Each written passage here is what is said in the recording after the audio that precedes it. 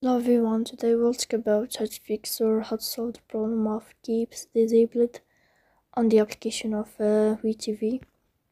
You click on settings. Here on this page you can go to apps, default apps, app settings.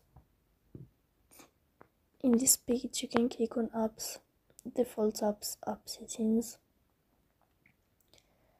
Here in this page of app info you can click on first stop and you can click OK. After that you'll enter to the window of storage. Here you can click on clear cache. Uh, then you can turn off your phone and you can wait a moment to turn on your phone again to fix that problem. So please don't forget to support us by like and uh, subscribe see you next time in another video and uh, thank you for your attention